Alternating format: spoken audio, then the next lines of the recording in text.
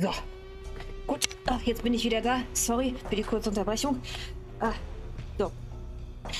Jetzt geht's also auf den Showdown schon zu. Uiuiuiui. Dann gehen wir mal in den Bombenkontrollraum. Oh. Put, put, put, put, put. Hm. Klitus, was macht er denn da? Bombenkontrollen. Cha-cha-cha. Fummelt er etwa an den Bombenkontrollen? Ich fummle an den Bombenkontrollen. Na, das sieht bestimmt nur so aus. Es sieht nicht nur so aus. Ich fummle tatsächlich an den Bo, an den Bi, an den Ba, an den Bo, an den Bombenkontrollen. Dieser, dieser, dieser Bo, dieser Bi, dieser Ba, dieser Bu. Rufus got the groove. Yeah, aber halt. Dieser Verräter. Fummelt er doch tatsächlich an den Bombenkontrollen. Ich muss ihn aufhalten. Das stimmt. Oh ja, das war spannend. Das Hier, war spannend. Diese, dieses Set war halt natürlich nicht einfach zu finden. Wir brauchten halt irgendetwas, was halt auch nur entfernt erstmal an einen Organon-Sprengturm erinnert. Am Originalschauplatz konnten wir halt nicht drehen, weil der Organon da halt gerade eine Übung durchgeführt hat und die Antragsformular schon alleine, das war schon ein ganzes Buch, also äh, an, an komischen Akten, die man hätte wälzen müssen und, und äh, Anträgen, die man hätte ausfüllen müssen. Dann haben wir uns aber umentschieden und gesagt, so, ach, ihr könnt uns mal und wir äh, drehen das ganz woanders. Und haben uns schließlich äh, dafür entschieden, wo war das denn noch gleich? Das war der Saarbrücker Flughafen, der ja kurz danach planiert und neu gebaut wurde. Ich habe aber inzwischen, das ist Zufall, ich habe gestern gelesen, die haben das gar nicht planiert, sondern die haben das alles sorgfältig abgeschraubt. Und äh, Lemgo bekommt ja jetzt auch einen Flughafen. Und da wollen sie das dann wohl wieder hinbauen. Aber so schön kriegen die das nicht wieder hin. Das kann ich mir nicht vorstellen. Wenn wir das im Vorfeld gewusst hätten, das, äh, hätten wir uns wahrscheinlich auch viel Aufwand ersparen können, weil immerhin mussten wir ja die Hälfte, des, das, das sieht man ja hier nicht, aber die Rückwand besteht halt so aus, aus einzelnen schweren Panzerplatten, die aber nur lose verschraubt sind an so ein Stahlgerüst. Und da war halt eine Öffnung zwischen den unterschiedlichen Stahlträgern, die groß genug war, um eben diesen Planetenkiller, diese, diese große Bombe, diese, das Organon, um die da halt rein zu transportieren, weil die gab es natürlich nicht im äh, Originalset. Die mussten wir ja schon aus unserem Bestand aus, quasi die haben wir aus Wustweiler ranschaffen müssen. Genau. Der Transport war schon Oh. anstrengend, aber dann halt natürlich diese Flughafenwand abzuschrauben und dann nachträglich wieder ranzuschrauben, nur damit die halt dann, und das auch zweimal vor allem, wir mussten die ja reinbringen und wieder rausholen. Aber wenn wir das gewusst hätten, dann hätten wir natürlich die Wand auch einfach offen lassen können die ganze Zeit über. Und vor allen Dingen äh, ist ja total hirnrissig, so eine, so eine Bombe wieder rauszuholen äh, aus so einem Gebäude, das sowieso gesprengt werden muss. Nee, das ist, das ist wie, das haben wir doch besprochen. Das ist doch wie in diesen Mietverträgen. Also du musst, du musst die Wohnung neu tapezieren, bevor du ausziehst. Obwohl ganz klar ist, dass der Nächste die Tapeten gar nicht mag, äh, mit den blauen Hasen drauf und die wieder runterreißt. Das habe hab ich noch nie begriffen. Aber das- ist Bürokratie. Ne? Also Das ist Bü- das Beamtenwahnsinn, genau. Beamtenwahnsinn. Und jetzt aber nochmal, warum sollte irgendjemand Tapeten mit blauen Hasen drauf nicht mögen? Das, Das sind Harvey-Tapeten es gewesen. ist Wer auf der Welt macht denn eine Harvey-Tapete von der Wand? Ja, ja, echt? der, der einzieht. Ach, sei egal. Also ich hätte die Harvey-Tapeten dann dran gelassen. Bin ich ganz ehrlich. So, also wir haben jetzt hier den, Ro- den Schurken der da rumfummelt an den Bomben, die da hier übrigens dran hängt. Ähm, eine Tasche und Donner. Klitus hat sie hier einfach so liegen lassen. Aber ich glaube, wenn wir jetzt hier einfach rausgehen, das würde er ja, äh, das würde er sehen. Verräter. Fummelt er doch tatsächlich an den Bombenkontrollen. Ich muss ihn aufhalten. Ich Ja, mache ihn lieber wie? nicht auf mich aufmerksam. Noch nicht. Aber wir haben ja noch die Fernbedienung. Ach nee, das ist bestimmt Donners Tele Fernbedienung, oder? Gucken. Kein Bild, kein Ton. Aber wir müssen also an die Tasche. Aber da, dann würde er uns doch sehen, oder? Würde er uns sehen? Nein, doch nicht. Äh, na super. Da ist Donners Fernbedienung. Und die beiden übrigen Datasetten. Ich lege schon mal eine ein. Haha. Golds Fernbedienung fehlt leider. Sie muss sie noch bei sich haben. Also, wir haben jetzt hier eine Datasette, da eine Fernbedienung. Okay. Komm, Donner. Lebe! Kein Bild, kein Ton. Äh?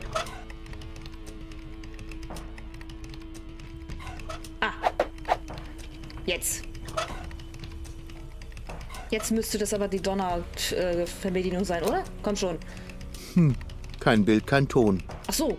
Ach so. Ah, nein, halt, stopp. Ah, ha, ha, ha. Wir brauchen die Datasette. Wir müssen die ja auch erstmal reintun. So. Oh, hey! Psst, nicht so laut. Hey! Wir haben ein Problem. Naja, also zwei. Einhalb. Eigentlich drei. Ich habe lange nicht mehr nachgezählt. Was ist denn los? Siehst du diesen Klitis da hinten? Nur verschwommen. Irgendwas ist mit meinen Augen. Huch! Oh, guck mal, Rufus. Ich bin Donner. Ich weiß. Verfüttert ihn an die Haie. Sehr schön. Können wir uns kurz auf das Problem konzentrieren? Klar, leg los. Klitis ist drauf und dran, mit Lady Goal nach Elysium zu verschwinden. Und jetzt fummelt er auch noch an den Bombenkontrollen. Ich glaube, er will die deponianische Bevölkerung ausrotten. Dann gäbe es nämlich keinen Grund mehr, Deponia zu verschonen. Boah, fies. Ich kann es kaum glauben. Wir müssen Lady Goal davon erzählen. Könnte schwierig werden, sie zu überzeugen. Probieren geht über Sinieren. Das habe ich von dir gelernt. Ja, dann lass uns. Tja, sie hatte einen brillanten Lehrer. Wenn sie nur halb so gut mit Menschen umgehen kann wie ich, dann... Vielleicht sollte ich ihr besser nachgehen. Nur zur Sicherheit. Darum ist Klitis der Gute und Rufus eben nur. Na, Ladies. Rufus, was tust du hier? Ich weiß, du hast mich vermisst. Aber wir haben jetzt keine Zeit für Versöhnungsjam-Jam. Wofür? Hat dir Baby Gold schon alles erklärt? Ich wollte, aber offenbar habe ich einiges durcheinander bekommen. Lady Goal hat mir gerade erklärt, warum man dir nicht trauen kann. Was? Aber du solltest doch Lady Goal umstimmen, nicht umgekehrt. Ach ja. Das war dein Plan? Ich würde ja sagen, lass dir etwas Besseres einfallen. Aber am Ende verstehst du das noch als Aufforderung. Tu ich auch. Nicht streiten. Keine Sorge, Baby. Lady Gold ist kurz davor, ihren Irrtum einzusehen. Ich habe meinen Irrtum eingesehen. Du bist der Irrtum. Und auch Baby Goal ist nicht ganz so naiv, wie du glaubst. Ja, ja. Aber, Nanu, ist das etwa ein lustiger Schmetterling da drinnen? Ein Schmetterling? Hui. Wir sind wirklich alle mittelrecht, oder? Tja, this is my way. Dein Weg führt nur von einer Katastrophe in die nächste. Vielleicht ist das der richtige Weg für Krawall Goal. Meiner ist es nicht. Hör mir doch erst mal zu. Warum sollte ich? Du hörst mir ja auch nicht zu. Ich gehe mit Klitis. Sei froh, dass ich dir nicht den Organon auf den Hals hetze. Ich gebe dir drei Sekunden, um von hier zu verschwinden. Sieh es als Abschiedsgeschenk. Aber Goal, Eins, ich... zwei. Klitis nützt dich nur aus und wenn du von oben auf meinen brennenden Kadaver hinabschaust, wirst du einiges von dem, was du gesagt hast, sehr bereuen. So. so, und nun? Ja, und nun?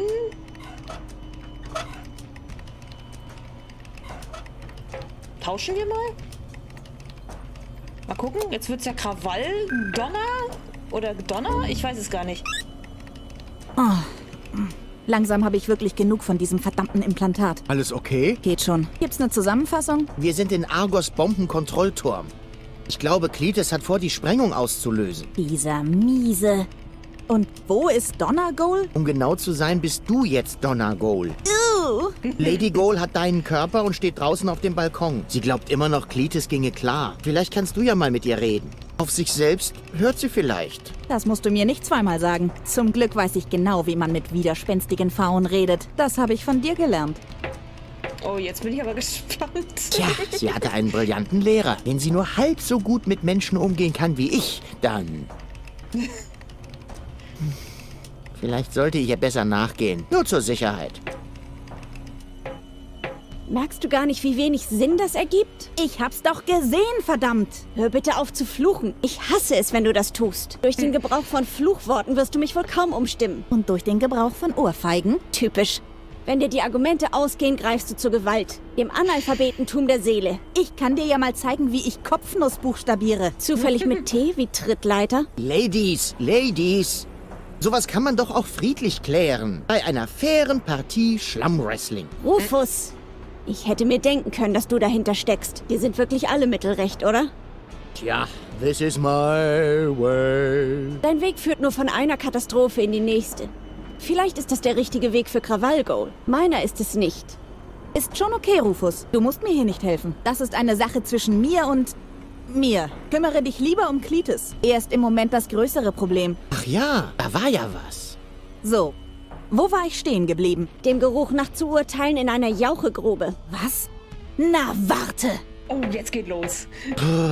Das machen die beiden wohl tatsächlich besser unter sich aus. Wie kann man nur so lange Selbstgespräche führen? Schon irgendwie Cletus? gestört. Gestört.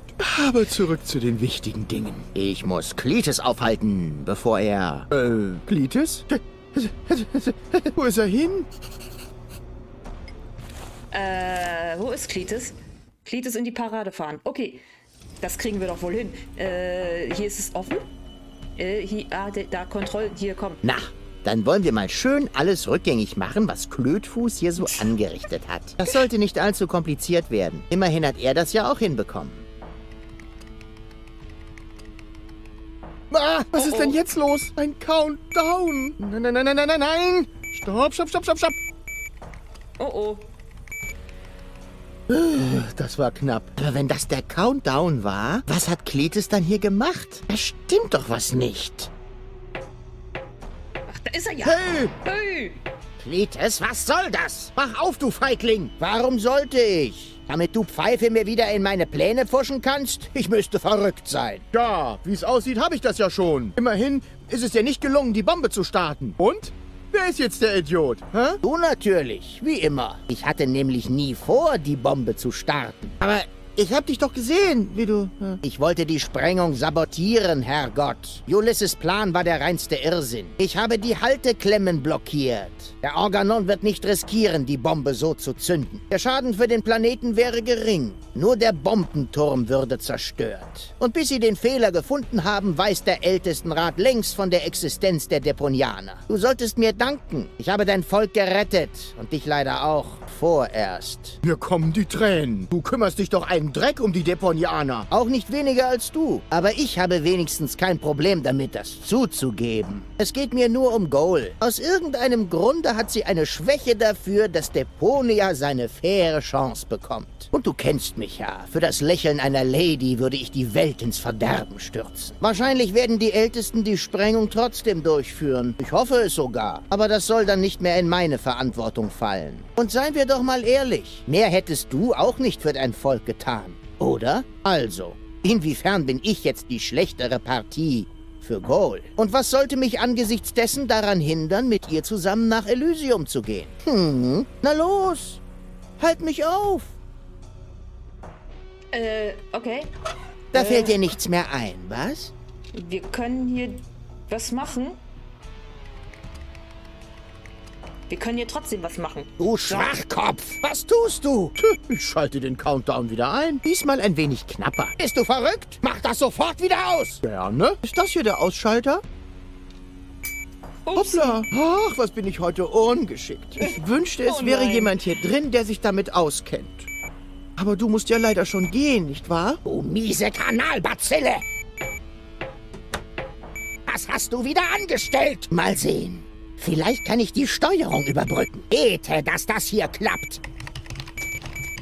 Äh, Dieser Verräter. so. Was tust du? Ne, unfair.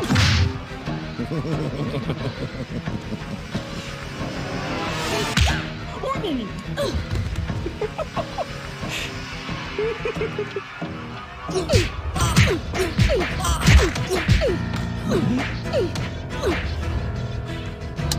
Was? Ich.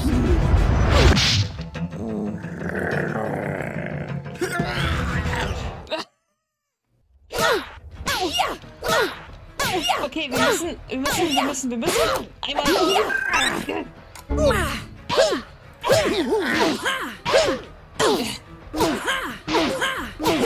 Jetzt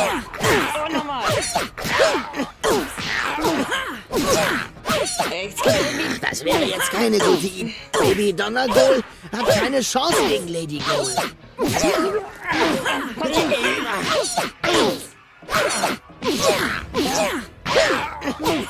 Dabei, Goal! Was? Leg!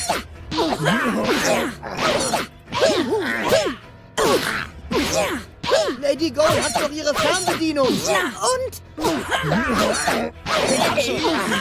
Schnapp dir die Fernbedienung. Nein! Hey! Aha. Hab sie! Und nun?